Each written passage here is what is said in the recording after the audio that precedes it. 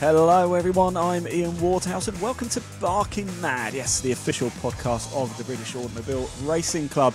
And uh, I'm a little bit sad, actually, because it is time for the final episode of our inaugural series. Uh, it's certainly gone by in a flash, but don't worry, because we're going to make sure we sign off the year in style with a jam packed finale coming up. Uh, now, of course, before we get cracking, I need to introduce my Barking Mad co host. And it's not only a different location this week. He's actually in a different continent as well. Alan Hyde, welcome. What time is it and where are you? Uh, what time is it now? This very time as we're uh, we're doing this podcast, it's just gone ten o'clock at night. Um, oh. On uh, what are we? Monday? It, no, it's Tuesday. it all gets a bit still tired. It's still jet lagged. Travel all over the place. Yeah. So uh, just gone ten o'clock at night. I'm in um, a, a, a, completely empty, apart from me, um, a brand new press center at Macau, and uh, oh. they've built this amazing press press center um, being used for the first time this year. It is probably four times greater in size than um, uh, nice. than the facility that we had for many many years. It's just over the way, over the other side of the paddock, and it is. Um, I think, as you can see, it is vast. It's like a, a, a Formula yeah. One press center. It's absolutely brilliant. There's only me and the security man just outside um, who he wants to go home, Alan. They've, they've opened it just for you. He wants to go home. That's his job. I've been told I can stay here as long as I like. And it will be a long time because we've got quite a podcast ahead. Not surprisingly, it's the last one of this year. Yeah, it, it's pretty sad actually. I can't believe how quick these things go. Episode 12 already. Um, but I'll tell you something though, Alan. What an episode we've got coming up for you because uh, very shortly we are going to be joined by former world champion, who's also coincidentally not too far away from you, actually. He's in Macau himself. Touring car superstar Rob Huff uh, is going to be on the show. After that, we'll be chatting to Matt Burkett and Ben Wilshire from Driven International. They're responsible for building a virtual dream track. Uh, and then, of course, we've got the BARC event manager, David Wheadon. He's making one last appearance to sign off 2023 and help us select some Barking Mad Award winners you know what I didn't do, Ian, and, and this is remiss of me. I didn't ask you what you've been doing since we last saw each other. Listen, Alan, you're in Macau. Nobody cares what I've been doing. You're you're in Macau. I've just been in football, but you're you're doing the real stuff right now. So so no, no nobody cares about that. Everybody cares about what you're doing. I've been doing a lot of motor racing things, you know. Um, uh, so a couple of weekends ago, we had the on the Saturday night we had the uh, Night of Champions. So we crowned yeah. Ashley Sutton as a as a four time champion. The following day, I went down to uh, to uh, Brands Hatch um, and enjoyed the truck finale. Um, Did you stick also, around for the fireworks? So, uh, did I stick around for the fireworks?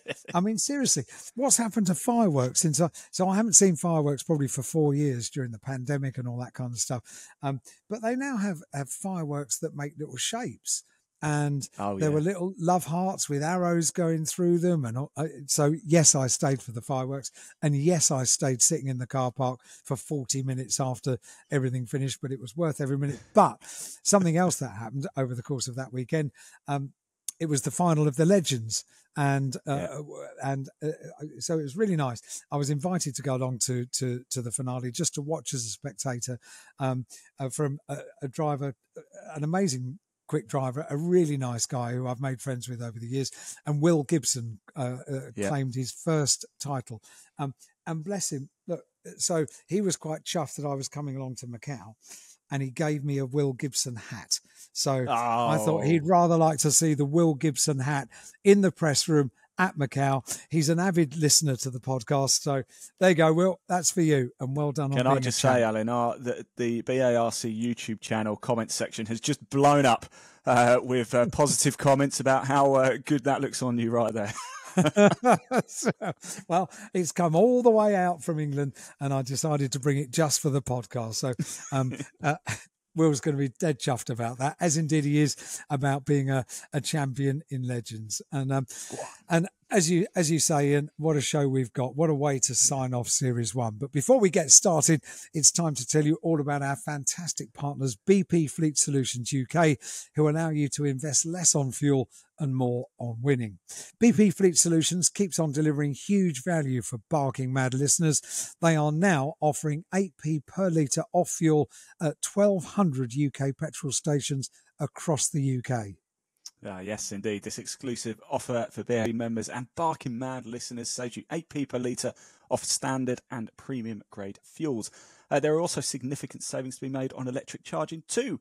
Uh, this really is an offer exclusive to the Barking Mad podcast. Uh, right then, Alan, I'm ready. I know you're always ready. So let's kick off the final episode of 2023 because this is the Barking Mad podcast.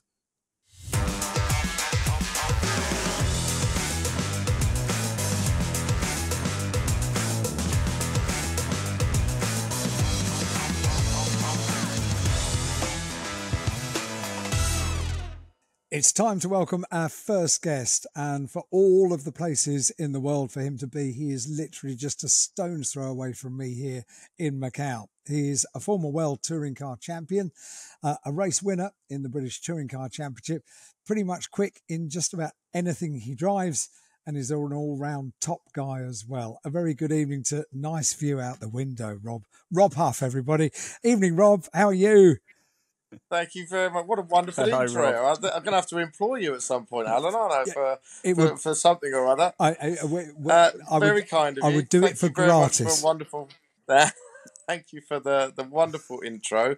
Uh, yeah, here we are. Uh, end of the year, grand finale in uh, in my favourite place on the planet, where uh, where where there's a racetrack concerned. So uh, yeah, wonderful to be here, and thank you very much for having me on. Oh, it's brilliant to have you on. So, Rob, how far away are you from Alan right now? Alan, are you in the media suite at Macau right now? And, and Rob, you're quite high up, aren't you, in your I hotel? I can probably show you out the window. I think Alan's over here somewhere. So I'm I'm in the the media centre, actually in the paddock, um, and Rob is at his hotel, which is probably about a 15, 20 minute walk away from where I am. That's it. Yeah. So you've got uh, turn turn one, which is the flat left, then Mandarin, which is the fast right, and then sort of halfway between Mandarin and the first big braking zone is where I am.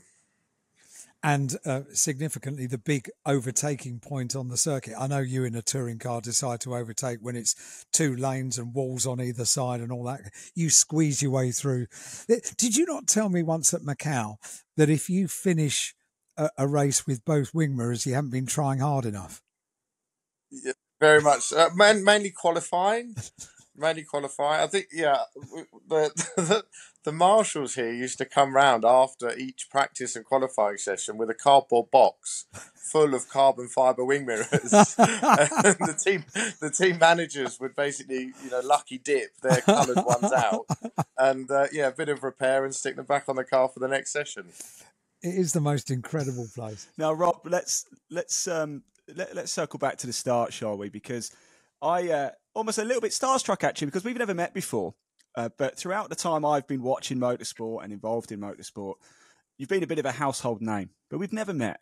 And I was quite amazed to see actually that you've only had one full season in BTCC, which we'll circle back to that one a little bit later. But let's go back right to the start and your love of motorsport. Where did it come from?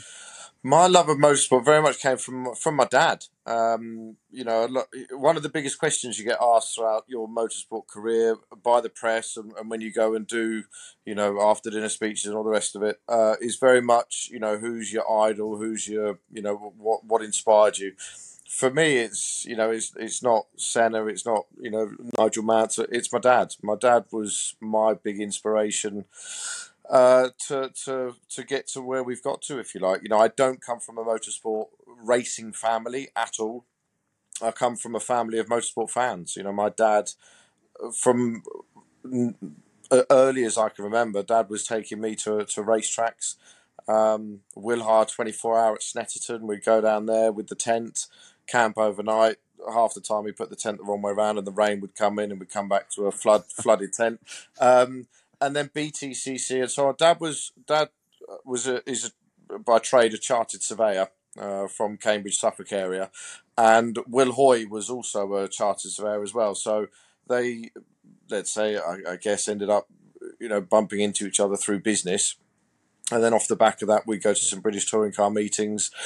And then Dad got involved with some of his friends with Simon Harrison, back in the day when Simon started with Formula Ford before he got to touring cars. So there was sort of dad and some of his friends were, were sponsoring Simon, and it, it kind of just grew from there. We were going, you know, to a lot of races, and I just absolutely loved it. And from the earliest age I can remember, just if if it had wheels and a motor, I wanted to to play with it. I want to take you back to a, a, memory in your early career, Rob, that I remember really well, and that was the the the, the catalyst that started it all really for you in breaking into the into the big time if there if that if that's an appropriate way of saying it. Um, but it was the SEAT Cupra Challenge um, and it was yep. a, an amazing prize that was offered at the end of the year. Um, I'm not sure it actually worked out to be quite as amazing as it was advertised because I remember it being advertised um, as a, a drive in the BTCC fantastic. That was really cool.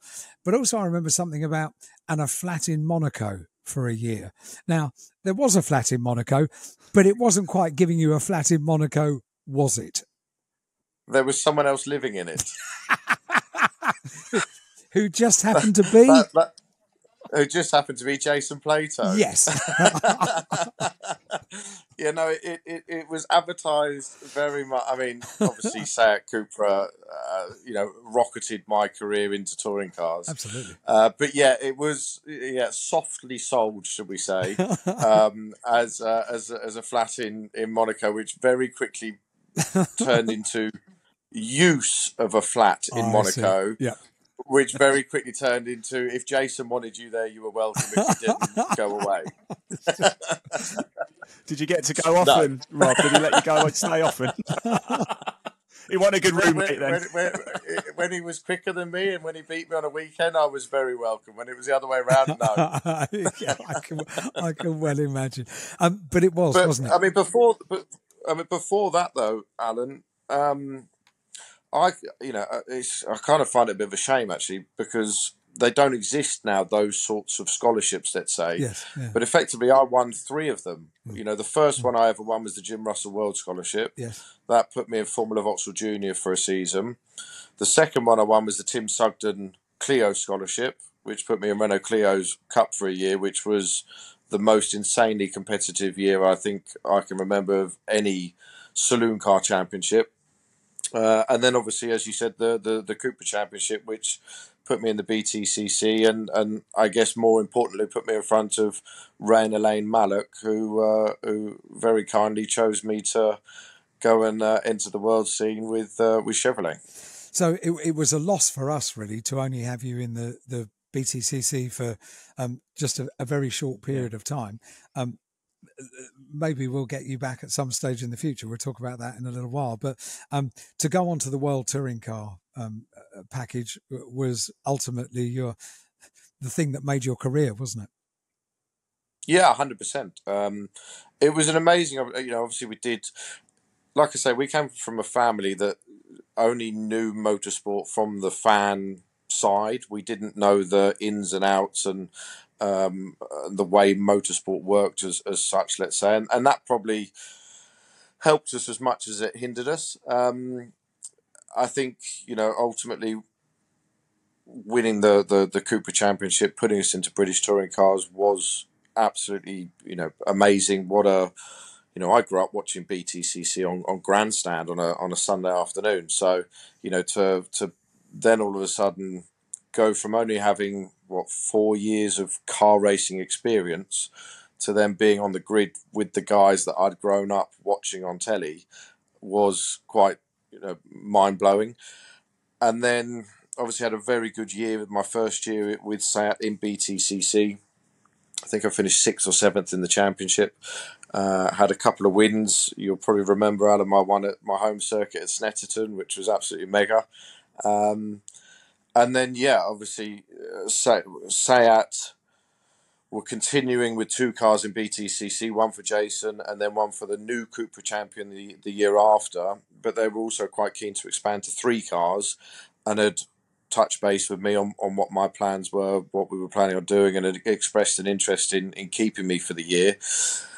Uh, and and you know, amazingly, I was getting a, a phone call from Ray Mallock asking me also what my plans were for the for the following three years, um, because he had a very interesting proposal about going to the world championship with a, a, a car company called Chevrolet. May I ask about um, what it felt like when you got that phone call? Because um, that must have been a sort of a, a pinch me moment, wasn't it?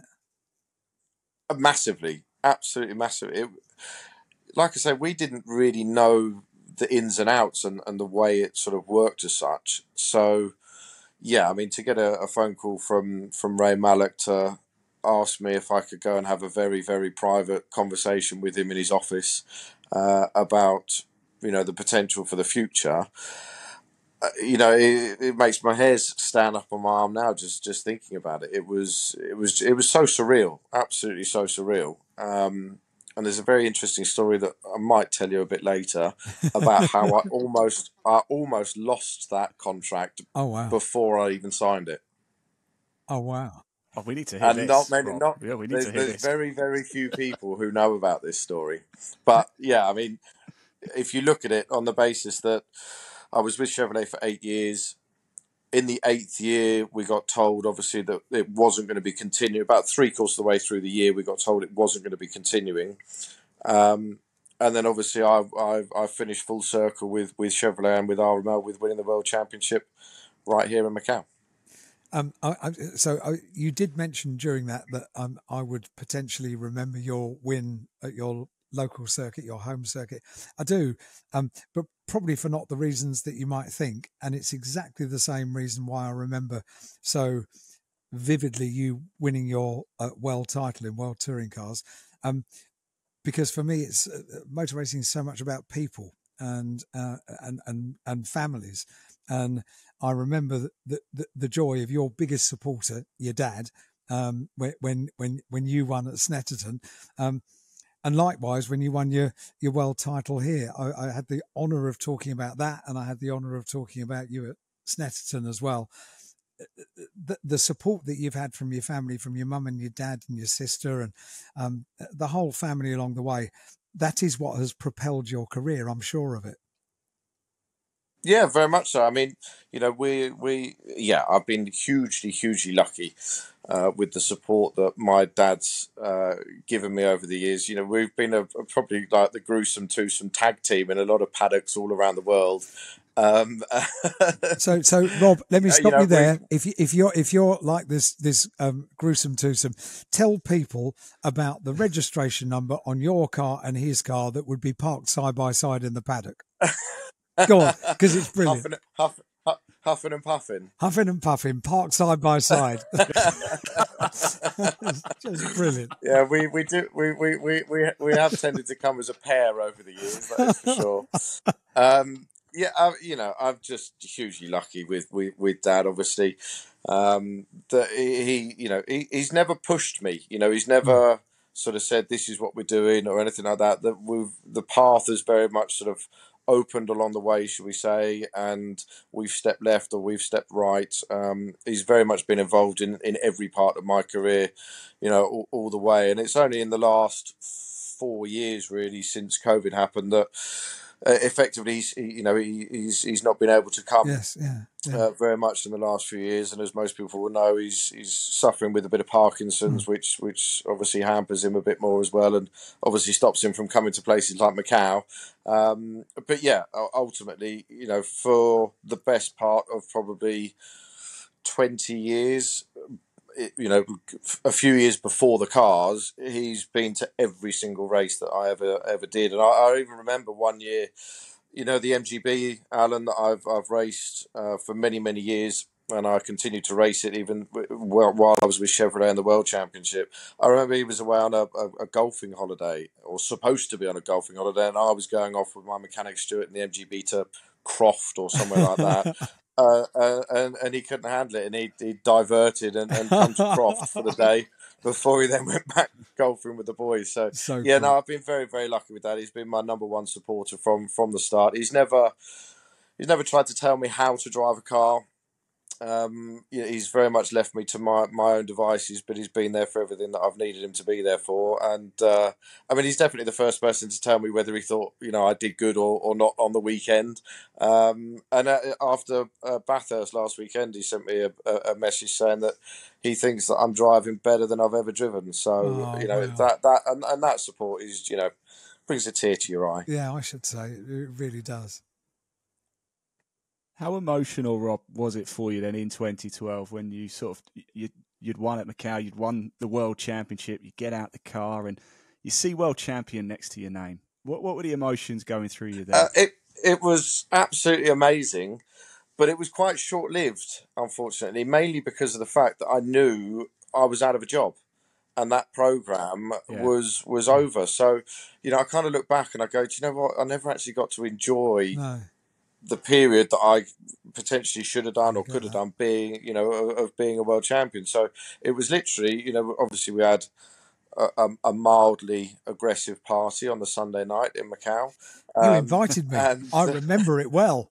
it was quite a good one, wasn't it? It was quite a good one.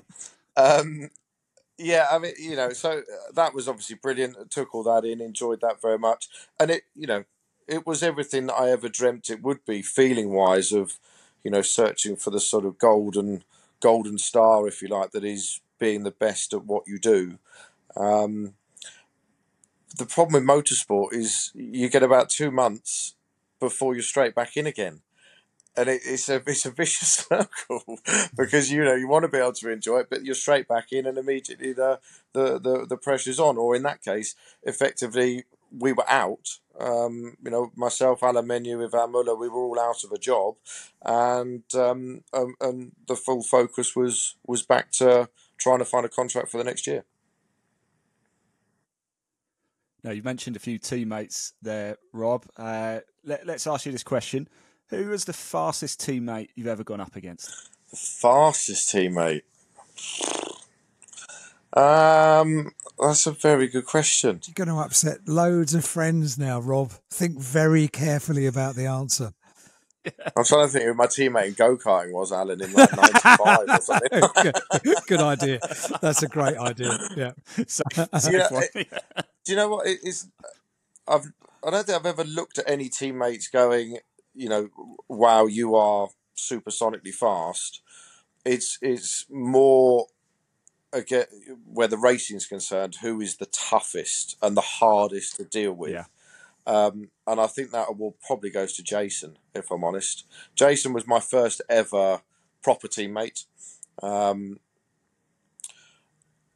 and he was very clever. He's a very, very clever man. Um, Jason and I are great friends. You know, we, we, we've stayed, stayed very much in contact. We get on very well. But as your first ever team, and I, I think that Jason's one of the reasons I think why I've managed to do so well. I have to thank Jason a lot for for this. I always do in all the articles that I do in, in magazines and so on. He was so hard on me that I had to learn very, very fast. And that the way Jason was with me completely prepared me for Alain Menu, Nicola Larini, Yvan Muller. Um, Jason was tough, very, very tough. Liked to play games best mate one minute, didn't talk to you the next minute. oh yeah. But but but ultimately, that is what prepared me for going up. You know, Jason was the best of the best in, in the UK, uh, and that totally prepared me for going up against the best of the best in the world. That's a really good answer and a, a, a, really good way of putting it as well. The toughest teammate over the years. But what what has it been like mm, driving with like these that. these other legends of touring cars? You are clearly one of them now, but at, at the time that you were entering the World Championship, you weren't legend status at that stage. You weren't a world champion, but you were coming up against drivers that you've been watching on telly, on Grandstand, on BBC One for many, many years. Uh, did they make it helpful, easy for you? It was very annoying and very frustrating. you know, you're, you're going to you know, learn all these new tracks. Obviously, I sort of grew up in, in the UK. I had a, a very quick rise to BTCC. So, literally three or four years learning the UK circuits, and then all of a sudden you get thrown into the European yes, yeah. and the world circuits, and yeah. they are completely different to what we have in the UK. Yes. I mean, literally, we've got you know Silverstone, which is obviously you know the biggest, the most open uh, F1 track we have. Uh, Brands Hatch, I guess, is quite a close second, but the European tracks are completely different to the UK tracks, and you know it takes time to learn all the bumps, or you know all the jumps, all the tricks, where you can cut, where you can't cut, what works in in which car, um, and so you have to learn that all over again, and then you're up against you know two world famous teammates with BTCC titles and, and, Formula One experience. Formula One experience with Ferrari, for instance, with yeah, Nicola. Yeah. yeah. Um, mm. and and then you look left on the grid and you've got what Andy Priaulx, James Thompson, uh, Farfus. Uh, you look right on the grid, you've got Zanardi, the Mullers of Dirk Muller, Jörg Muller, um, uh, Duncan Huisman. You know all of these guys, Tom Coronel everywhere you looked was was a superstar. Um, and yeah, the boys weren't easy. They weren't no, easy no, on us at no. all. You know, they they taught us lessons very quickly, and I think you know that's an, an, another thing that Jason was was great with me for because that you know that year with Jason, or two years with Jason, because he was our mentor in the Cupra Championship.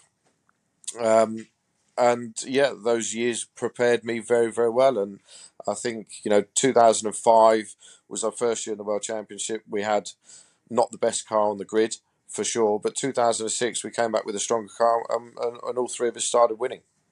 You mentioned Andy Priaulx at one stage, who was known as being the expert, the master in a touring car here at Macau. Um, and was responsible really after having great weekends for the final meeting of the year in World Touring Cars for uh, his World Championships, uh, picking up a huge amount of points. Um, you are now the master of Macau in a touring car, and you've won more races in a touring car around this place than anyone anyone else. It is a unique circuit. It's a, an incredibly hard circuit. It, it doesn't take prisoners. If you have an accident here, it's going to be a big accident. There's absolutely no doubt about it. What is the secret of you? Um, and I mean, you must be going into this weekend feeling pretty good um, because uh, you are um, equal um, top points, aren't you, in the uh, World yep. TCR Tour?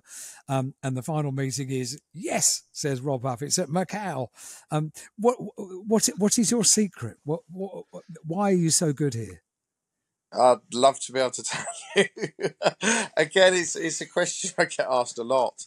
Um, I'll, I'll, never forget uh, when I met my girlfriend Bella. Um, her brother. Uh, we were, we were, it was the first time I, I met her family.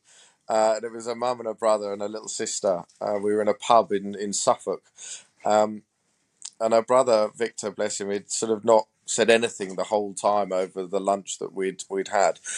Um, and just as we, we were leaving the restaurant, he turned to me and he went, "So, what is your secret to Macau?"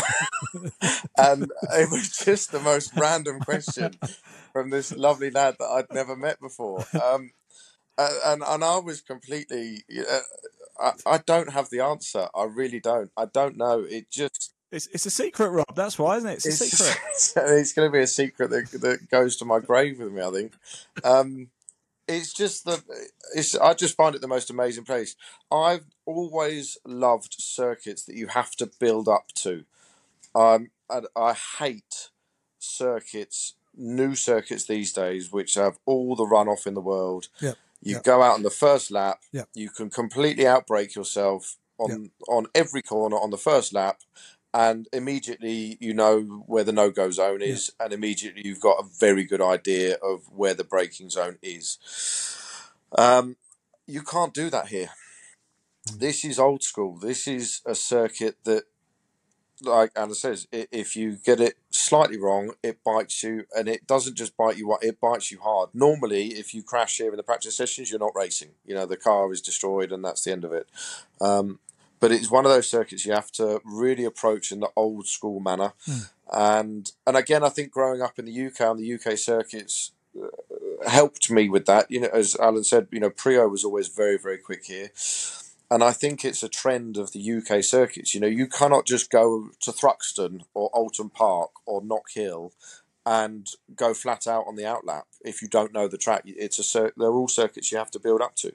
Um, Macau is one of those circuits that you have to build up to, and it, it took you know it, takes a few years. It's not doesn't tend to be a place that you would just come to and win on your first attempt. Um, there's little uh, in the Armco. Obviously, the Armco has little bends in it, like uh, like has the the tunnels, the sleeves in Yes, in yes, the Armco. yeah. And ultimately, as we spoke about earlier with the wing mirrors, you know when you're going fast when you get the pictures are from the photographers afterwards, and on every corner, your wing mirror is inside the sleeve. Wow. Wow. I, I I did uh, I did a quarter track walk today, Rob, and, and I have to say, so I went down from uh, Mandarin down towards uh, Lisboa. Spent quite a long time at Lisboa because it it it, um, it always surprises me just how tight the corner is.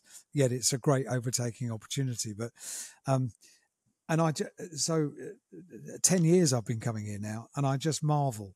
I, I marvel not only at driving a car fast, but racing alongside and how close the barriers are. I mean, serious respect, absolutely serious. Yeah, Man- Mandarin Corner, Alan, is is scary as you like. I'm not going to lie. Like yeah, yeah. Mandarin is in it in F F three F four. It's flat and easy Yes. flat. Um, I didn't know this, but uh, the GTS have been easily flat through there for about the last six or seven years now as well. Wow. It's almost flat for us in Yeah. sixth. We end, we we arrive there at sort of two fifty. And have a breathe on the throttle to about 237 238 is what you're aiming for to go through there in quali wow. and the whole car is sliding the whole car is sliding and Wow. effectively you know you've done it right let's say because there's no armco there it's concrete wall so you know you've done it right when the car slides up to the painted line on the left the white painted line Yes. Yeah. and when the tire butts up to it, it grips, and you you don't hit the wall. And that's when you know you've done it well. I, I have to ask you the question. Nerves of steel. I, well, I was going to say, no, It's nerves of steel and Nerves of steel. stupidity. I'm not sure. I've not worked it out yet. Maybe a bit of both. it, it hurts my head to think about this, but um, uh, you, ju- Ian, you just said nerves of steel. Do, do you get nervous before um, any circuits, and, and in particular, do you get nervous before Macau? Yeah, I think Macau's one of those circuits. You just have to you have to have so much respect for the circuit. Mm. You know, uh, I think uh, again my, myself and uh, my teammate Fred Vervisch, we were talking about it earlier. Um, it, it's just it's such a crazy circuit. It's so easy to make a mistake, and it's you don't really have to do anything wrong. Let's say in normal terms to to get it very wrong here. Yes. Um, it's just one of those circuits that I said to Fred earlier. I, you know, for me, it's obviously we're in the you know gambling mecca of Asia, uh, and I, I do feel the track is is a bit. As I'm going to sound probably insane now, I, I feel the track's like a little bit alive, and it kind of chooses. I feel the track has chosen me so many times over the years. You know, there's so many times that we we've won it and we've deserved to win it. There's been times when we've not been leading and we've won it because others have fallen by the wayside. I remember when I won it in the in the Red Lada when Tiago was ahead of me. His power steering failed with two laps to go. I had Yvan in the the F1 Citroen behind me, um, and and somehow managed to hold him off. But I remember the last lap, I hit the wall three times and the car didn't break. Now normally with that Lada, you Wow. looked at it and it broke let alone wow. hitting the walls. then I hid, it, hitting the walls around Macau. So I do feel that this track, um, yeah, has, has has chosen me over the years, and he's very very kind to me. wow. Absolutely fantastic. What sort of prep work goes in then, Rob, for Macau? Let's let's sort of look into it. You're heading into the weekend now. Uh, y- you're at your hotel, but what, what's on your in the on the agenda tomorrow and then the day after, and then and then getting into the weekend? But bottle of whiskey, calm the nerves a bit. I know the hotel are looking after you, aren't they? Uh, the, we were out for lunch earlier today, and, and, and Bella even said to me, she said, "You're not worried about this weekend, are you? You're not nervous about it." And obviously, she would know better than anyone, and and I'm not because I just think with this track, it's it, what what's meant to be is meant to be. What will what will be will be. You know, que sera sera. And um, you know, there's so many factors that are out of your hands um, that you just you just got to roll with the punches here. You've just got to go in there, do your bit. I'm I'm very confident in my ability in the car that I'm driving this year in my Audi around here. I've uh, you know pictured it and imagined it many many times. We've got zero weight coming here this weekend. Uh, so I'm very confident in my ability. That, but then you end up with the uh, let's say the responsibility of everyone going. Well, surely this is all this is yours. You know, you know this is this has got your name written all over Yeah, it. pressure, isn't it? Uh, and I tend not to focus. It almost annoys me that people go, "Well, you've got this in the bag. Surely it's Macau. You know, you're you've won here eleven times. You, you know, you've got the lap record in every touring car around it." Yeah, but it, it still, you know, does scare the hell out of me. This place ultimately, you know, uh, Alan's obviously seen over the last two years, especially when I've I've come and done the Chinese stuff. I'm racing a car. I'm driving a car for the first time in Macau that I've never driven throughout the whole season with the MGs that I've raced the last two years. And I think last year we were on pole position with a 233 or something like that. And then in race two, I did a 231. Now, obviously, normally qualifying, you would go much quicker than the race. Yeah. Um, but it's just frightening to come here in a car that you've never driven before and, and do it that way around is frightening. And the problem is you then get suckered in that reverse grid. Jason was leading, I was trying to chase him down, and you get suckered into then driving much faster. And I've learned with Macau, you kind of only need to do what you need to do when you need to do it. Um, Yeah. You don't need to be a, a hero every time. So Yeah. yeah, uh, you know, I'm very confident around here. I obviously love this place. It's been great to me. I've got a hell of a car for this weekend, but I will still only do hopefully what I need to do when I need to do it. I did mention earlier on, uh, Rob, that um, uh, maybe at some point in the future we could welcome you back to the to the BTCC. Um, you had around. you got in a car, like you were just saying, that you'd never driven before. I don't think you'd ever seen the car before when you turned up at Knockhill and drove three races uh, in the BTCC. Um, and then witnessed a rain shower, probably like you've never witnessed before when you were sat on the grid waiting to go for, for race three. Um, and you've publicly stated that you you you'd like to come back at some stage.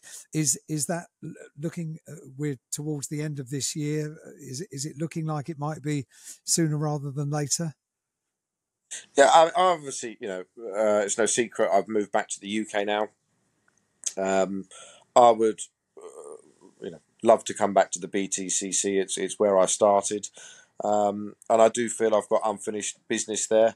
I've done the World Championship for twenty years now, and uh, yeah, I mean, ultimately, always looking for options and, and, and what potential there is. And of course, yeah, I had the opportunity to, to jump into a BTCC car at Knockhill. Thoroughly enjoyed it. Loved being back in the paddock. Uh, was quite surprised at the welcome I got from everyone in the paddock. It was a, a, really nice experience. Well, you're a nice bloke. it Um, was nice to see you, for goodness sake. Very kind of you. Um, but yeah, so it was just you know it's it's something I would definitely be very very interested in. And yeah, am I speaking to three or four teams on the grid about opportunities for next year? I certainly am. How cool is that? That's very cool indeed. Uh, I I mean, being back in the BTCC paddock, undoubtedly you bumped into plenty of familiar faces from all those years ago because we're all still doing it. Um, uh, remarkably, uh, the likes of Alan Gow. I know you worked a bit with with Will Fuchs. Um, and uh, those relationships, Rob, um, how important are they? Because they they kind of formulate early on in your racing career, and and continue right the way through, don't they? Yeah, very much so. I mean, uh, you know, Alan Gow, obviously, I met him when I started in British Touring Cars, and then he's been on the, the World Touring Car Committee for the whole duration, I think, that I've been in racing out here as well. So, uh, yeah, obviously, you just stay in touch with these people, and, and I think he was uh, really pleased to see me at a, a very wet Knockhill um, in the freezing cold, as opposed to, you know, with a swimming, swimming shorts on in a nice country. Um, but you know, yeah. So obviously, you know, and and and uh, he's he's been, uh, let's say, very helpful in uh, putting me in contact with uh, with quite a few people, and a lot of journalists in the UK have been very helpful as well, uh, with uh, let's say pointing me in the right direction. Uh, and then obviously Will, I mean, I've known Will for what fifteen years now, and it's no secret that that he's doing very well you know in his uh, within his business with his uh, company doing what they do and Will and I have got a great relationship, and we feel that we've got something together that we could potentially bring to, to UK motorsport. So, yeah, we are currently in the process of, of, of trying to put that together. That would be very good news indeed, Rob. Yeah, I certainly hope to see we'll that. To um, see. Rob, thank you so much, so so much for joining us. Um, I'm going to be watching on telly. Alan, of course, you're going to be trackside, I imagine. So it's a best of luck this weekend, Robin. Hopefully, we'll see you back in the UK in the BTCC sooner rather than later. Thank you very much, gentlemen. It's very kind of you. Thank you.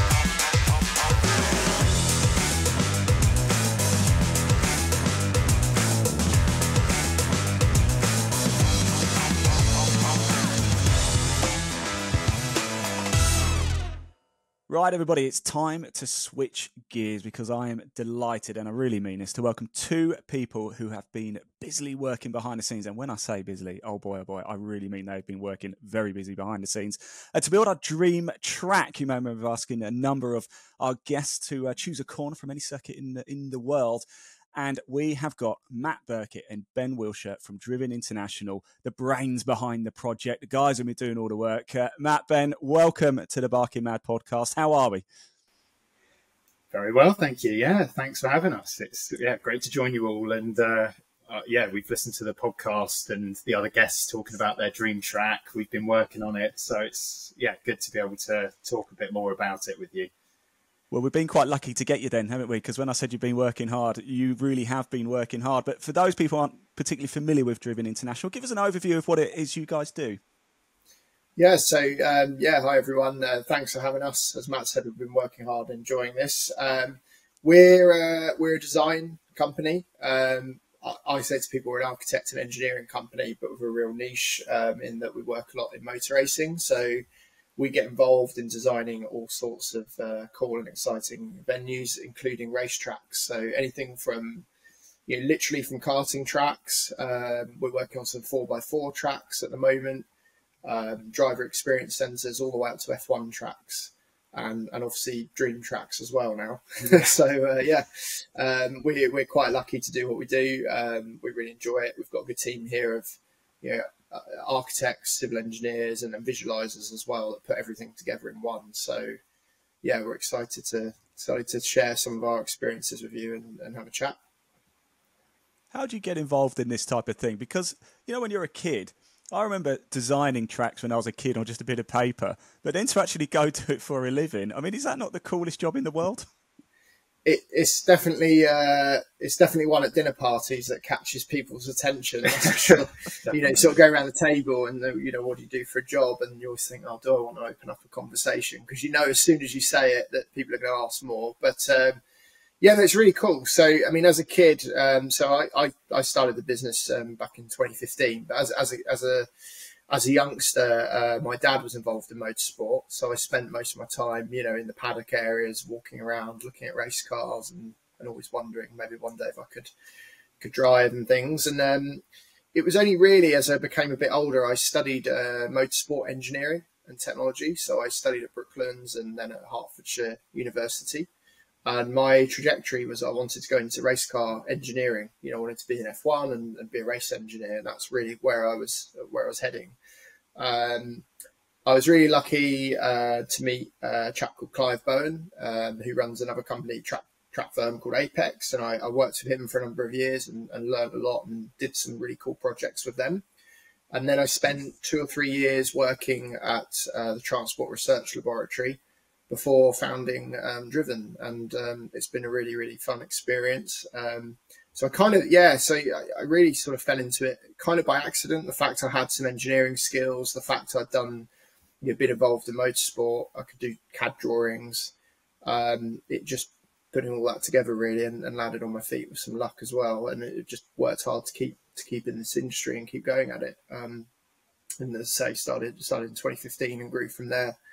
Um, I did some work with in the early early days when we started the company. Did a lot of work with Motorsport UK on sustainability and looking at the environmental impact of race circuits and and with the FIA as well.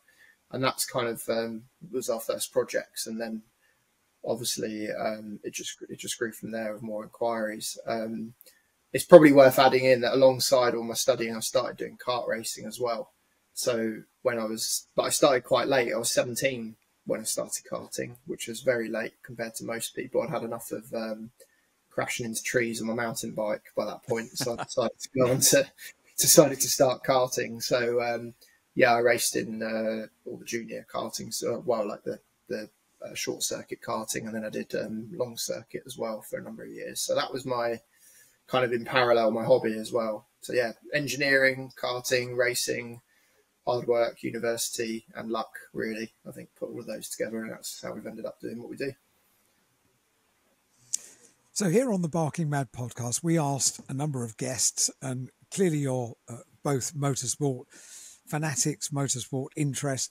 Um, so you knew many of our guests, if not all of the guests that we've had this year, and they came up with some pretty cool ideas um, about their favourite corner to add to our BARC virtual track. So, how did the process start? Did you literally start series one, episode one? You've got one corner on a CAD drawing, and then the next one gets added, and the next one gets added, and then you think, no, hang on, that one's going to go better there, isn't it? So, how, yeah, what yeah. was the process, and what did you each individually do in this process? Yeah, it's definitely been a different process to what we would normally follow for any standard project, where normally we have a very definitive site boundary and elevation changes, stuff like that. So, being able to have a blank canvas and just time to play around with layouts and shapes and sizes was really nice for this project. Um, but yeah, we sort of waited until a few guests had given their um, contributions before we started putting the track together, um, just so we could create a nice loop. Um, but it's been a real challenge, actually. Like it may seem yeah, quite an yeah. easy thing to just take these different corners and stitch them together, but you've got to think about you know the approach speeds into each one, trying to replicate that to be as true to life as possible. Um, a lot of them were downhill corners as well. We found so eventually you've got to get back to where you started. So trying to put the 3D together to create the full lap has been quite challenging. Um, I, w- I would say that was probably one of the most important points because a lot yeah. of people talk about what's your favourite corner. Um, or what's your favourite track? And, and the favourite corner thing is always an interesting one because it's it's never usually one corner; it's the whole sequence. So, like I always use Maggots and Becketts at Silverstone as a good example. A lot of the F1 drivers always really talk about that, and Eau Rouge as well at Spa. And what makes that corner is the entry is the entry speed. If, if you were going into those corners coming out of a hairpin, it'd be completely different. So. Yeah um, as Matt said, like probably the biggest challenge was getting that sense of scale um, in terms of the entry and exit speeds to allow the corners to flow, and then just how that eats up space quite quickly. Um, yeah. In terms of the roles that we both had, like Matt and his team, they really did the the grunt work of pulling all of the corners together into into the first draft. And then I sat with you and went through like, okay, let's move this corner to here. I think maybe we can swap some of them out, as you were saying, Alan. Like maybe it would be better to, you know, change yes, the order of them.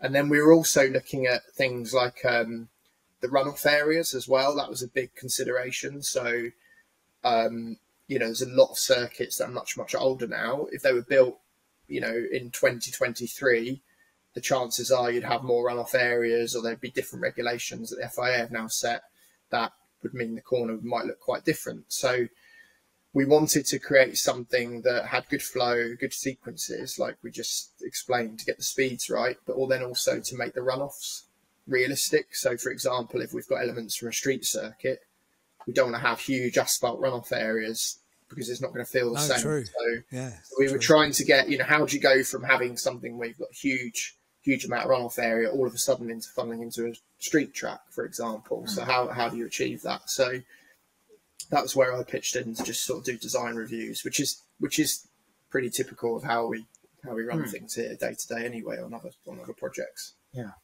You mentioned maggots and Becketts there. Was there any other corners that you really struggled to uh, find a place for and, and really had to move around a few times? Because it's a bit like a jigsaw, isn't it? Only you've almost got to hammer the pieces in rather than slotting them in nicely. You're right, definitely. Yeah, I think yeah, Maggots and Becketts, like Ben said, quite an open track, Silverstone, lots of runoff area, and we were thinking about you know what comes after that, and we have these street circuit bits we need to put in, and then we were looking at you know the 2D Maggots and Becketts. It sort of gradually slows down as you go through each curve, and then we thought, well, Bathurst, the Dipper, is kind of similar with the approach there, so we thought that seems like a natural fit to go from Maggots Becketts into that one, but Bathurst has obviously got the barriers right next to you, so yeah, we kind of just gently brought the barriers in as you go around it. And, you know, when everyone eventually sees the virtual model that we're creating alongside this, like, I think we've done it in quite a natural way, the way it doesn't just come upon you out of nowhere. So that, that's been a challenge. I think the other one as well has been um, sort of the end part of the lap where we've got the, uh, the Fox chicane from Pau into Knockhill. We decided um, like two chicanes that are quite, you know, you blip over each curb really in quick succession. So putting those together felt quite natural. Um, but there was no one bit that was easy because if you change one bit, suddenly you've got to rotate the other bits Throws the- yeah, for yeah, it to of fit. course, One, uh, one debate we did have in the office, honestly, was where the pit lane goes. So Yes. we, we we actually played around with flipping the pit lane on the other side of the straight a few times, and that's always something that comes up with track design because obviously you want drivers to be able to exit um, easily and you know safely, but then you also want them to rejoin, ideally well off the racing line, um, and also not really in, in a big braking zone. So and that that's a real headache for us, honestly, on a day to day basis when we're designing tracks is where you put your pit entry and exit, and then obviously the paddock area that, that you need a big space behind. So I think we've um, we've done that quite well here, where we've got the ability to to to come off the track and rejoin off the racing line. But it could have worked either side, really. We could have got it to work. So Yeah. that was a bit of a consideration as well that we that we did play around with. So now the track's complete, isn't it? The, the track's done. We've seen it. we we've shown it on the podcast. I'm sure we can uh, pop it on screen for you uh, as well if you're watching on the BARC YouTube channel. Uh, am I right in saying people are going to be able to drive it as well? Virtually, of course. Virtually, yes, absolutely, yeah. So, yeah, our team of visualization technicians have been progressing the virtual model of this over the last few weeks, and um, yeah, we've driven a couple of basic uh, versions on our simulator here, and uh, it, it does feel great. and hopefully, you know, we'll be able to share that, and everyone can see it as well. Um, but yeah, I, I like honestly, I was a bit worried about how it might come out on the simulator because you think, like, okay, you put all your your dream corners down sequences, and there was always this moment of like, okay, now let's watch what it looks like to drive. And, oh, it's not quite what I imagined, but it hon- honestly it is it is it's incredible. So if this track ever got built, I think we can safely say it would be a lot of people's dream track. We'd, we'd need a fairly large expanse of, of ground, wouldn't we, if we were to Yeah. build this? Um, how long is the circuit? Can you tell us how long it is? Yeah, it's six point five kilometers long, so it's a Well, biggie. It'd well, be- so, uh, so here at Macau, 6.1 kilometres. So don't worry, we can do this. yeah. yeah, it's not that's the thing as well we didn't want to create something that was completely unrealistic so six and a half you know it's it's a long track but as you say it's not it's not unrealistic um, No, no. yeah. so, I think yeah that's just- important definitely. And whilst we were designing it, you know, we didn't want to put in these, you know, really unrealistic sequences together. Like we did want to make it feel like it, it could be a possibility if you were driving it. And okay, it may seem a bit strange going from an open airfield at Thruxton to the harbour at Monaco in the same track, but if you found the right spot, you could do it. maybe we need to do a la- uh, do start doing a land search and see if we can find somewhere to build it Yeah. that would be cool How cool would You've that got a be? Are degree of both license, though, haven't you, when it's virtual? Sorry, Alan, go ahead. Are, are you both drivers? Do you, do you both drive in, in real world as well? Yeah, so I've been racing. Um, so when I was younger, I raced in karts, and then I went to superkarts and the British Championships. Um, I'm still racing today now, so I actually really enjoy racing at club level with the 750 Motor Club.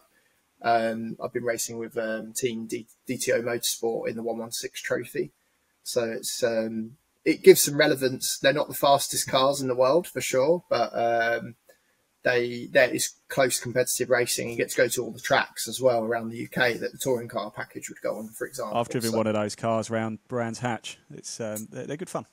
they're really good fun. Yeah. Super close racing. You have to really drive them smoothly. You know, you probably have to work for your lap time maybe harder than you would in a more powerful car because you've got, you know, you, you really need to carry the momentum. And, and Matt and I are going to be doing some racing next year together. So he's just uh, just got his license as well. So he's Oh, cool. very quick. yeah, I'm more from like the simulator driving background, really. Right. Um, Yeah. You know, I feel like I've driven every game and combination of car and track possible, and just generally been a bit of a racetrack nerd growing up. Uh, always on Google Earth and looking at service roads and runoff areas. So that's kind of how I became interested in track design. And then since joining Driven, yeah, I've had the opportunity to get out on track a lot more, which has been fantastic. So it's probably worth saying. So when, as the company was growing, you asked how you know I got into doing this, and I suppose we didn't cover your side, which was that um, we actually did some work um, quite a few years ago down Broughton on the airfield there, working for um, a television show, which you can probably guess there was you know three famous presenters that did uh, did did laps around their track, and so we helped them to, to build the track there. And one day I was online and I actually found that someone uh, had spent some time converting the track um, for the television show into um, like what they would do if it was an F1 track.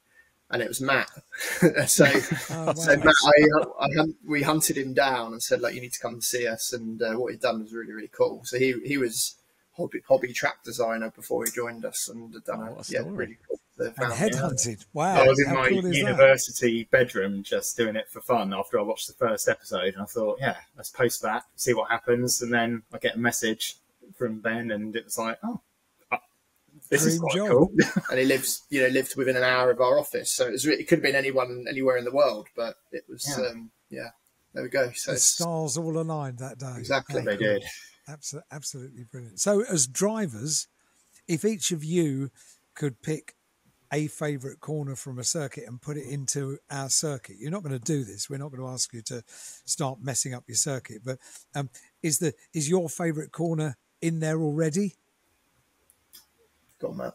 I think it, one of my favourite sequences of corners is from a track that is in the Dream Track, but not necessarily my favourite. But I think you know, growing up, I am a huge F1 fan. F1 is what I love most for watching racing on TV, and I do think that the whole opening sequence of Silverstone, as it is now, it just works so brilliantly. I mean, if you watch the first right. lap of 2021 British Grand Prix, obviously there was a big crash at Copse mm. at the end of it with Hamilton and Verstappen, but you know they were crossing side by side for about eight corners, and that whole sequence just seems to work so well. So, I mean, I can't really take a third of an entire circuit and put it in a dream track.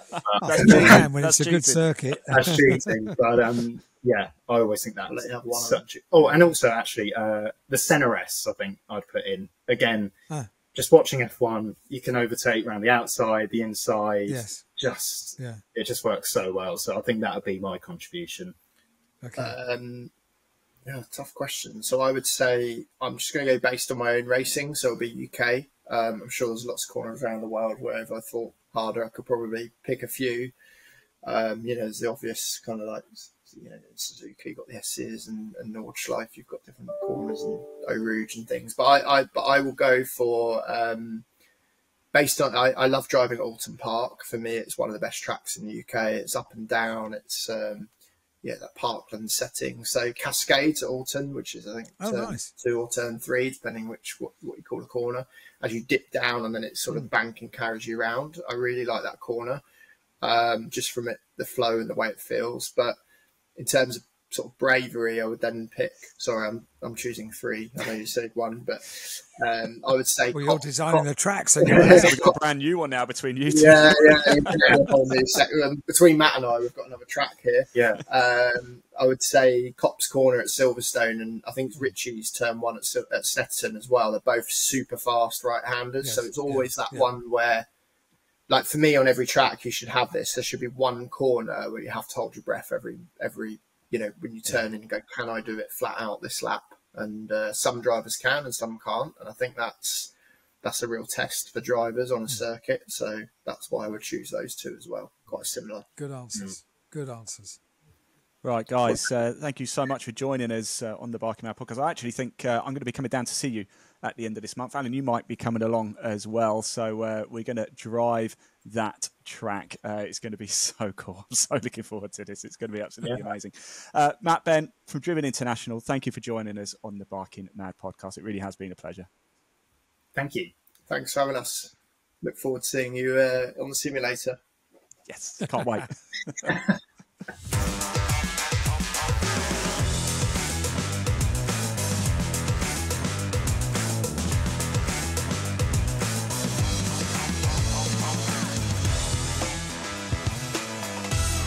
It's now time to introduce our final guest, and it feels only right that it's someone that's been on this podcast pretty much as much as uh, Ian and myself. It's BARC event manager David Wheadon. Hi, David. How are you?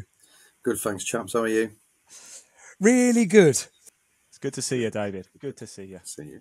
I actually saw you in the flesh um, just a couple of weeks ago at Brands Hatch for the for the trucks and fireworks and legends and pickup trucks and everything else in between finale at Brands Hatch. Uh, what a day! I was only there on the Sunday, but what a day!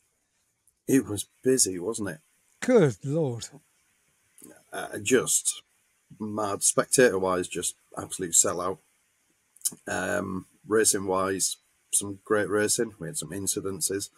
Obviously, the event stopped a little bit early. We didn't get those last two races in on Sunday.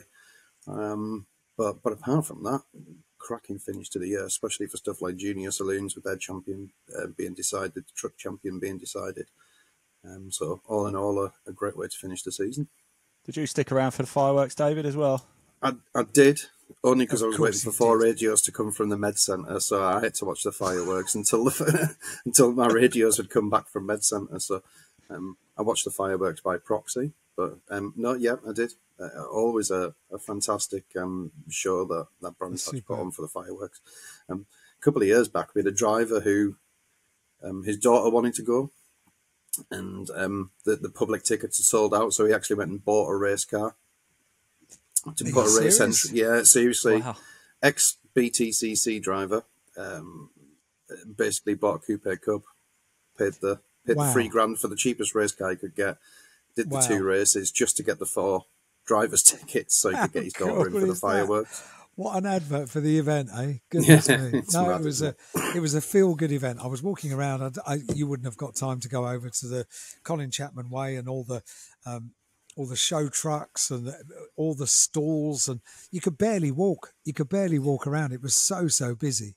It amazes me how much effort people put into the, the show and shine trucks. The, Absolutely. the the show trucks are just phenomenal. yeah. Yeah. um, the amount of effort that go into them is just unbelievable. Um, I, I won't lie to you, I've ended up following a few of them on um, YouTube. I'm not watching- surprised. I am Isn't that wrong with that? surprised. Yeah. yeah, so so it, it's mad, but there's um there's so many um guys who who are almost professional show truckers and Yeah, yeah, go to all these shows professionally. Um, and have hundreds and hundreds of thousands of followers on, on YouTube and, and Twitter and TikTok and everything else. So yeah, now I found myself following a few of them. It's it's it's interesting to see. It's good to see what goes on at a race meeting when because we're stuck in race control for most of the event. Yes. We don't really get Yeah. to see what's going out in the in the public area. So it was it was Donington mainly because it's such a big one, Donington, the, the truck meeting there. Um, so yeah, so guilty following following show truckers on Uh, YouTube. nothing wrong with that. Nothing wrong with that. Made it public. Right, we've got important business to get on with, Ian. Oh, I'm looking forward to this. Yeah. Yeah. this is the moment, I think, Alan, everybody has been waiting for, isn't it? Now, of course, you may remember in the last episode uh, we were asking for help with categories, of course, for our Barking Mad awards. Uh, we've got a number of them. Uh, we, have all selected. Uh, we've got Driver of the Year, Car of the Year, Race of the Year, Moment of the Year, Guest Story of the Year, Podcast Outtake or Moment of the Year, uh, and Unsung Hero of the Year as well. We've all selected our own particular moment, Alan, David, and myself.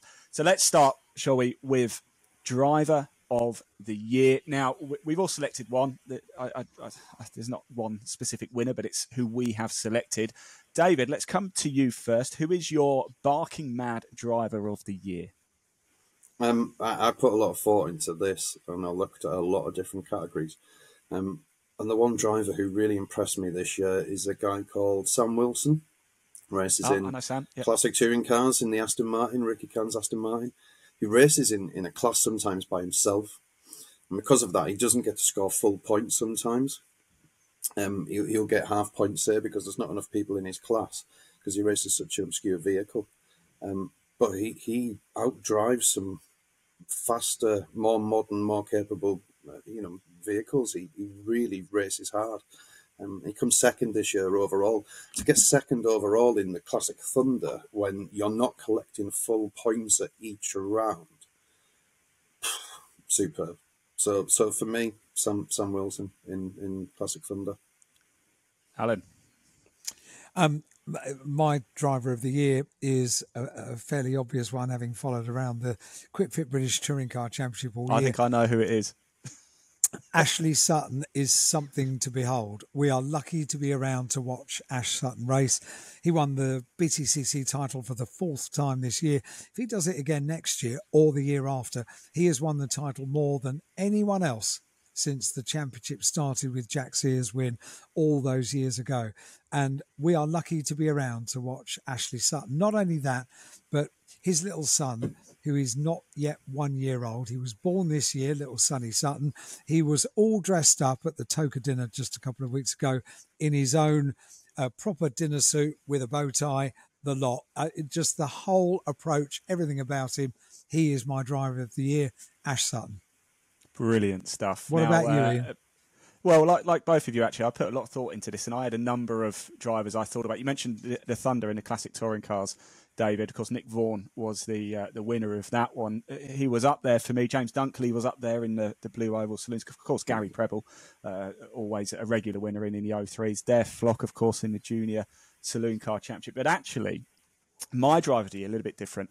Comes from the Coupe Cup. I mean, I know you mentioned it a little bit earlier, but Luca Statini Anzanello. He's uh, he's a, such a nice chap. Always got a smile on his face. He's quite a fiery character picked up the title this year. It meant so much to him going up against, of course, you know, the Rockets as well. And um, yeah, it, Luca Sashini Antonello, such a nice guy, such an asset to Club Motorsport. He is my driver of the year.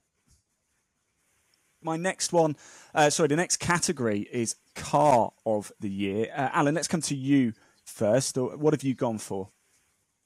It's fresh on my mind because I watched it only a couple of days ago at the first meeting here at Macau. It was, I think, the race debut for the Lotus Emira. It is the most gorgeous looking car.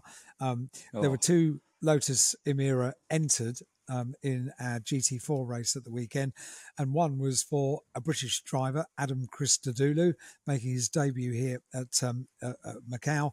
Um, the Emira looks absolutely gorgeous. They locked out the front row of the grid.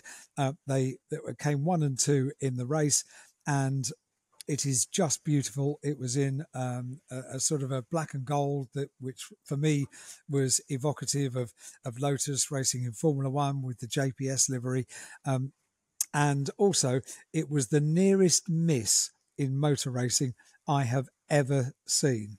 If you haven't watched it back, uh, watch it back on YouTube. It is lap one of the GT4 race at Macau from last weekend. Um, and it was an accident that came within a centimetre of happening that the, the, the leading driver who was in an Emira would have had no idea that that accident nearly happened because it was behind him.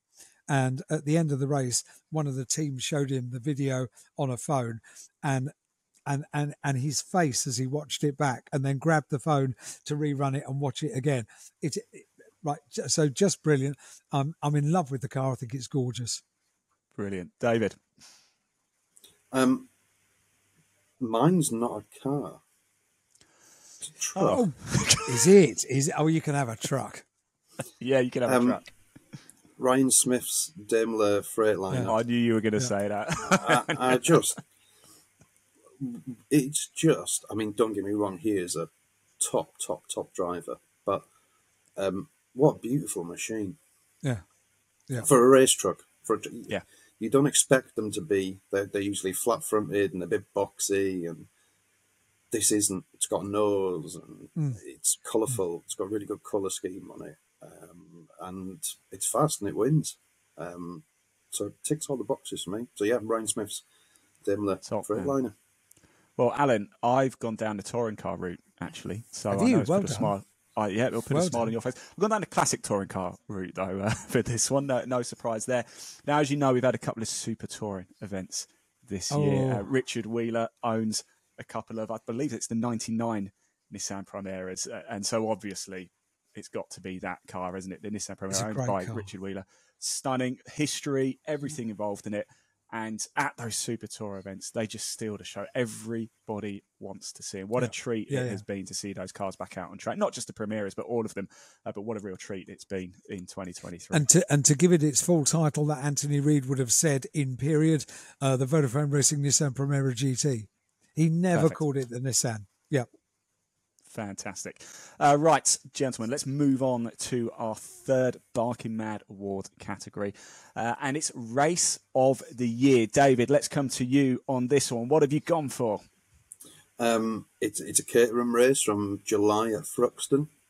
I don't know if anyone uh, anyone's seen it, but it was the I think I the was there. first Yeah, I think I was there. It was it was the three ten race on the Sunday morning. Um, it was won by Thomas O'Flanagan, um, but uh, the top two took each other out right at the last corner at the chicane on the last lap. The two leaders, um, Dominic Mansberger came from thirty first to third, and the top fifteen were covered by two point five seconds over the line. Fifteen cars in, in two and a half seconds. Wow. It was just phenomenal. Wow. Um, slipstreaming, four or five abreast into the chicane at Thruxton. Um, Caterham and Thruxton, uh, they go well together. All Caterham races are good, though, aren't they? All of them. Yeah, of course they are. But when you get slipstreaming, they're great for slipstreaming. So when you've got a circuit like Thruxton, which is fast, flowing, wide, big braking zone, it just lends to, to Caterham racing. Alan, what have you gone for? Uh, no one's going to like me. I'm probably not going to be invited back next year. Um, it's got nothing to do with BARC. It's got nothing to do with cars. It's got nothing to do with trucks. It was the final race of the season for the Bennetts British Superbike Championship. Uh, Fair enough. it, it, it goes back a few years. We've had some great finales in the BTCC um, when, as each lap goes by, uh, the the lead of the championship changes. Um, and this was the same kind of thing. The top three in the championship were battling it out, changing positions in the top three on the track. It was absolutely breathtaking. I wrapped my legs in circles all around myself. I was so nervous. I was shouting. Um, uh, it was, I, I'm sorry, two wheels. It's nothing to do with BARC, but it was my race of the year. And I have to be honest to myself. There's nothing wrong with that, Alan. There's nothing wrong with that. You know, absolutely.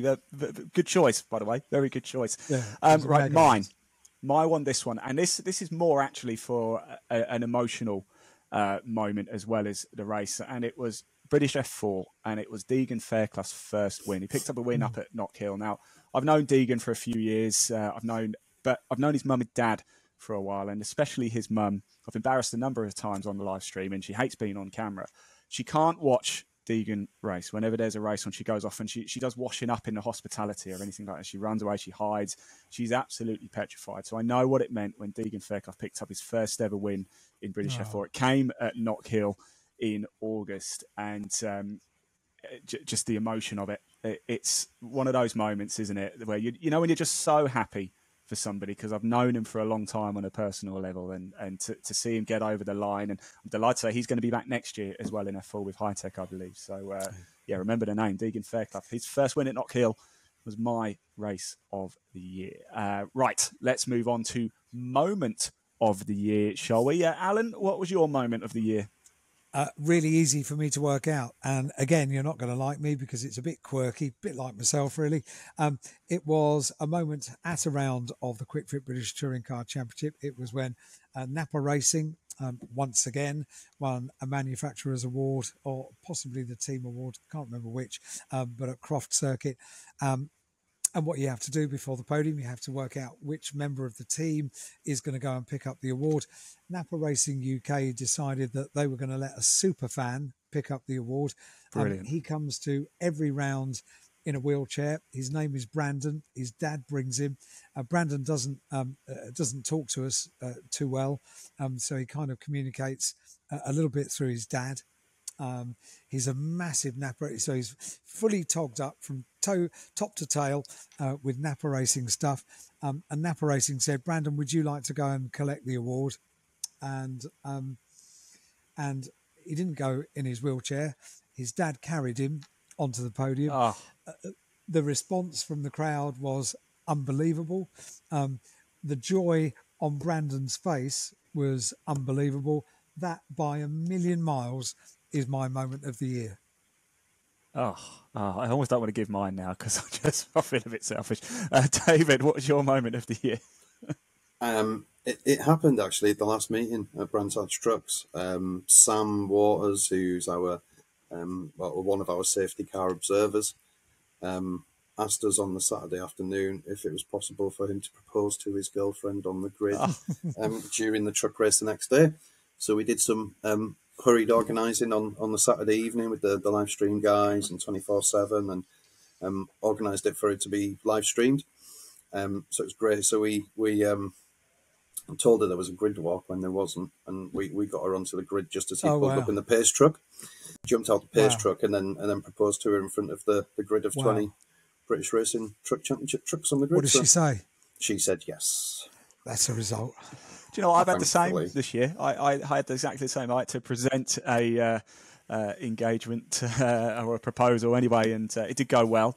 Uh, It wasn't with BARC, so uh, we'll just uh, move on very quickly. Um, yeah, I kind of feel bad for saying this actually now because it's it's more about me to be honest.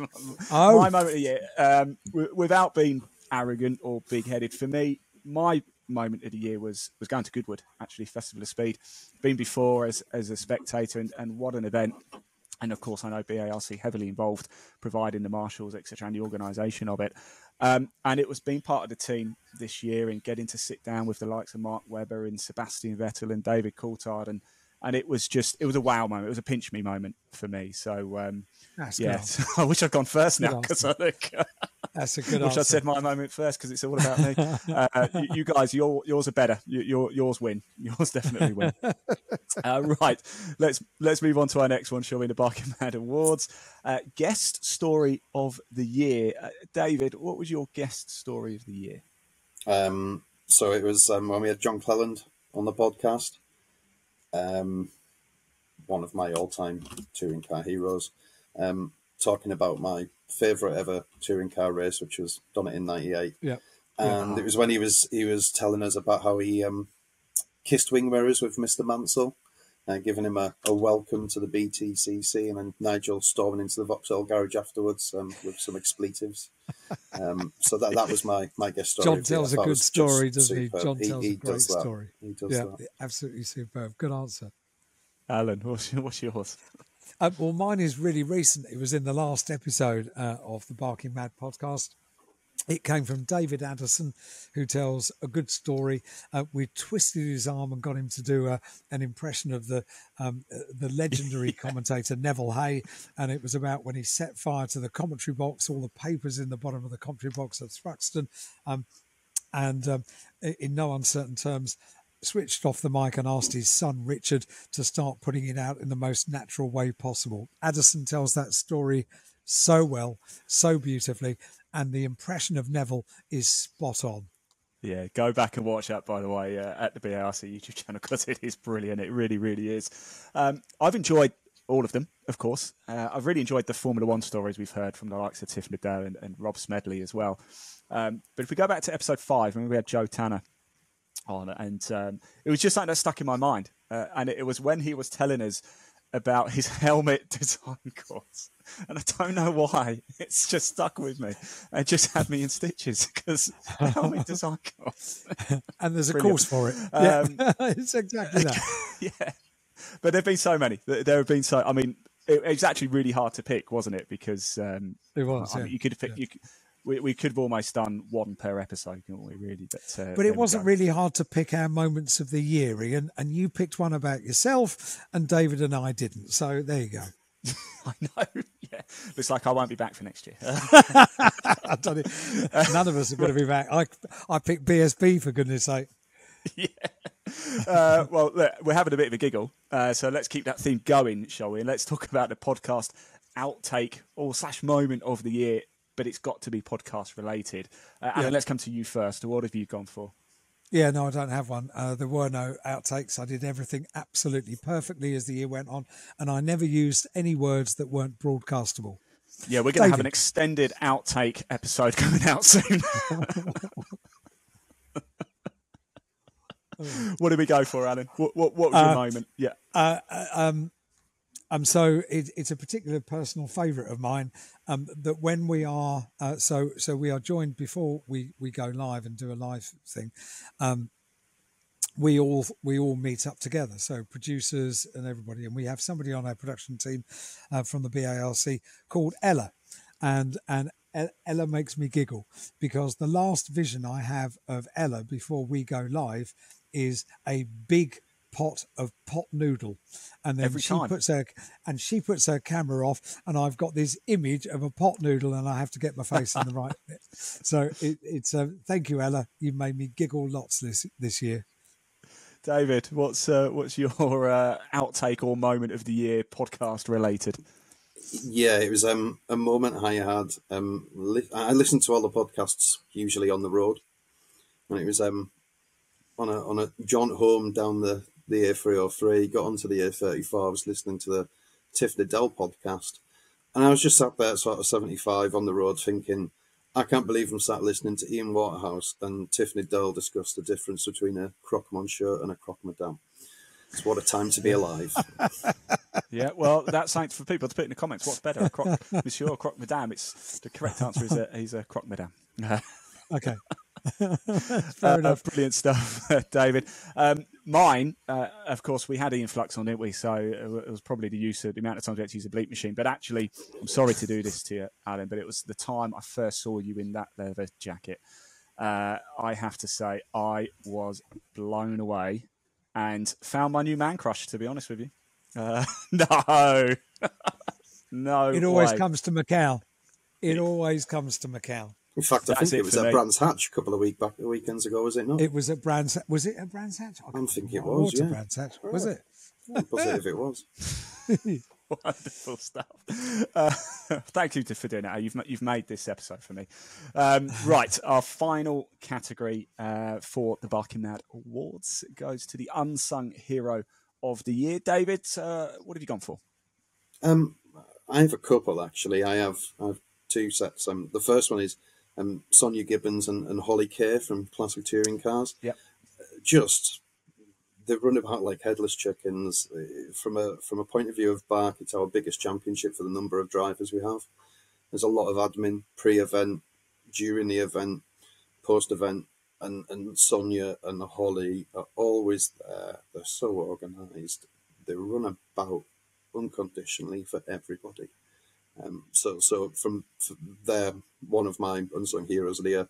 Um, the other one is, is a guy called Paul Rice. He races in Track Attack, um, and he also helps us out in the paddock with the junior saloon drivers. So when he's not prepping his own car or getting his own stuff ready for Track Attack, he's he's helping us out with JSCC.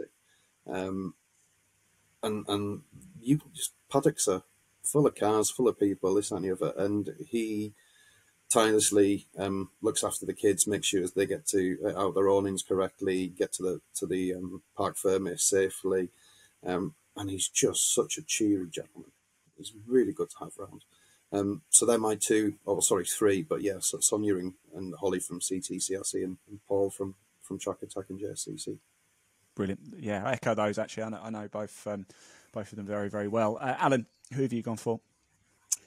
Um, it's a pretty obvious one, really, um, and um, and I'm, I'm, I'm, sure we all sort of back it up as well. Um, our marshals, our volunteers for race weekends, because we say it um, as a matter of course at the end of uh, every race meeting, thanking the marshals as they walk back, cold, wet, and in need of a, a cup of tea or something to eat before they get off on their journey home, because most of them will be going to work uh, at nine o'clock tomorrow morning.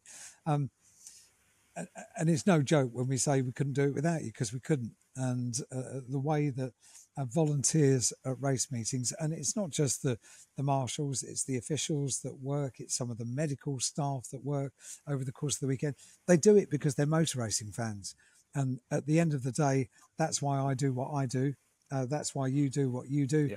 um, and and and uh, they are the most incredible body of people. They have this um, amazing camaraderie amongst themselves. They have great weekends doing what they enjoy doing, but without doing what they're doing, we couldn't run the sport. So uh, it's it, it, it's an obvious one, but it's it's it's it's all I have. No, it's it's a very good one actually, Alan, and and I've gone for Marshall's too, but I've gone very for a specific event actually as well, and it was at, at Thruxton. It was the trucks, of course, and, and one of the trucks went off the circuit, and um, an awful lot of work went in from the marshals very quick, and we actually got racing again. Um, it was a wonderful effort, and and I isolate that incident because I was there. I mean, every single weekend the, the marshals put themselves sometimes in danger, don't they? And what a, what a great job they do.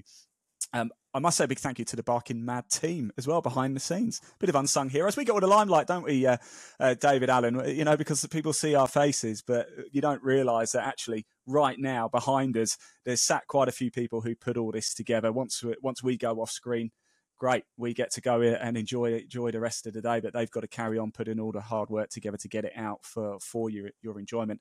I must just mention as well, if I can. Nine year old Holly Harris Brownsell. Uh, she's been raising money and awareness for motor neurone disease uh, for the My Name 5 Doddie Foundation by cycling two laps, right, two laps of each circuit that the British Truck Racing Championship has visited this year. Uh, how cool is that?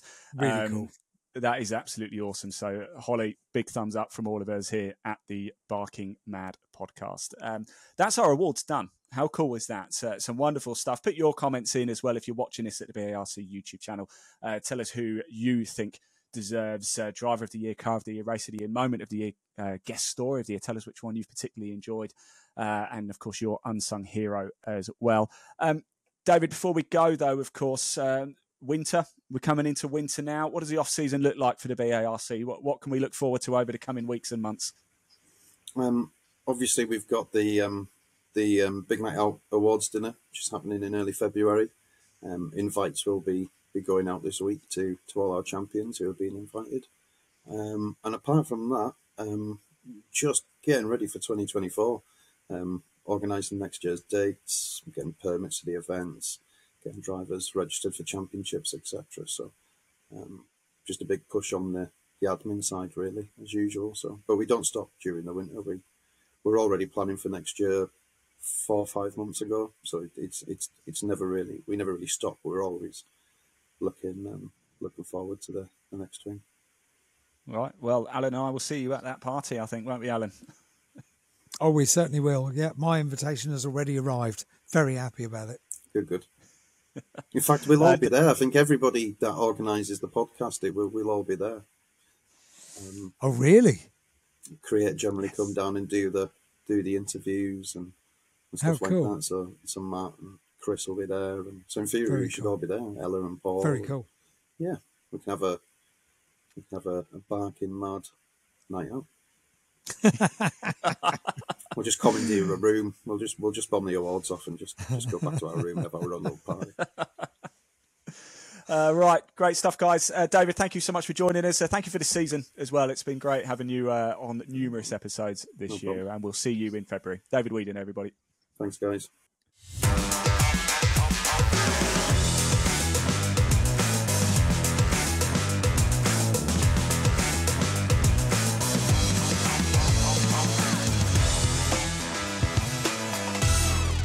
Well, Alan, uh, that's sadly the end of the episode and indeed the end of this series. But oh my word, what a season we have had. Sad news. I mean, when we started this, uh, we had no idea how it would work, if it would work. Um, Yep. You and I had never met before. Um, uh, so, well, we we sort of crossed over each other in a pit lane while we were each doing our individual jobs. But um, before, uh, when we were thrown together, as fate would throw two people together, um, we decided to meet up. And we met up at the most bizarre place, uh, which was the Costa Coffee in Winchester. And did we have a bizarre meeting or what? Just so that we could uh, learn a bit about each other and get to know each other. The first bloke, right, who decided to sit down with us and join us for a cup of coffee, he had what? What? He just got divorced, uh, or he just got separated from his wife. He was. Um, he was what he was having an episode. He was mortified. Um, do you remember? I, I, I, was, I was just about to say, put into a bit of context, everybody. Yes, we were sat outside. Well, it was a beautiful, beautiful day, wasn't it? And we uh, we Gorgeous. sat outside. I'm not too far from Winchester. It's about halfway for both of us, isn't it? So, Yeah. so we went there. We were just chatting, chatting away, talking about the podcast, and then randomly, this gentleman just decides to come and sit sit with us. Completely, he wasn't invited. He just sits No, with us, and we know all about him now. We know everything, and uh, yes, everything the- about the him. chap- And and then there was a woman who came and sat down with us, and and, and sh- even she prevented us from talking about the Barking Mad podcast, um, uh, because she was interrupting as well, wasn't she? So I suppose we talked about the the podcast and the prospect of doing it for about two minutes. So we we went into episode one, not really knowing how it would happen, and it has grown as the year has gone on, um, and it's been great. I, I I absolutely thoroughly enjoyed it, and what a bunch of guests we've had, eh? It's it's been remarkable, isn't it? I mean, even, even today, you know, Rob Huff on the show, the, the boys from Driven International, and when when actually I was going through the awards and th- that we've already done, of course, looking at those and going back through the previous episodes, the names that we've interviewed, oh my word, Yeah, yeah. what Yeah. what what a year! And, and it's just been. I'm so looking forward to next year. Is is what I will say. Uh, so I'm very very right. much looking forward to that. So thank you to right everybody too. as well for tuning in, uh, listening online. Of course, heading over to the BARC YouTube channel as well. And how nice it's been to be stopped at rate. I know this has happened to you as well, Alan, hasn't it? Been walking around paddocks and uh, around the, the public areas at circuits and people stopping you saying they're really enjoying the podcast. It really does mean a lot, doesn't it? It's lovely. Yeah, it's absolutely lovely. Uh, We didn't know if anyone was going to listen or watch anyway, and and and, and people have. So yeah, quite right. Thank you for that. A lot of memories indeed. Uh, but for the final time this year, let me tell you all about our fantastic partners that have been with us every step of the way during Series 1. It is, of course, BP Fleet Solutions UK, uh, allowing you to invest less on fuel and more on winning. The BP Plus Fuel and Charge card can be used at 3,400 locations. And don't forget, the card can be used by anyone. So, if you're filling up the team trucks, heading to a circuit as a spectator, or aiming for victory on track, there's a saving to make on standard and ultimate grade fuels. And if you haven't signed up for the BP uh, Fleet Solutions card yet, then head to bp.com slash BARC, where you can find all this and all the information on this exclusive offer. If you need to, if you need any help at all, all you need to do is hit the callback button on the website and a BP Fleet Solution UK team member will be in contact. Yeah, now while we uh, go off into winter hibernation, don't forget to stay up to date with all the latest news and reports from the BARC via the club website, www.barc.net. Uh, and of course, it's many social media channels. If you are watching on YouTube as well, don't forget to hit that little subscribe button so you don't miss any of the action. That's right, Ian. And if you want to go back to any episodes uh, from this series this year, then you can uh, just go. You can just do it because uh, the Barking Mad podcast is available to listen to on all good podcasting platforms as well as YouTube. Yeah, that's it, Alan. That's it. Series Oh, one of the. Barking Mad podcast in the books. Surely not. Close it. Oh, It's it's done. You can go enjoy Macau. Uh, go, go go have a drink for me, won't you? Uh, but on behalf of both of us, I would just like to say a big thank you to the team uh, that put the work in behind the scenes to bring it all together. Big thank you to you guys. So we, we really do appreciate you getting involved in this as well. Uh, of course, all of our guests are brilliant partners, BP Fleet Solutions UK, and of course, all of you watching and listening as well. We will be back next year for more motorsport chat. But until then, stay safe, everybody. Goodbye. Have a lovely Christmas. Cheerio. bye bye.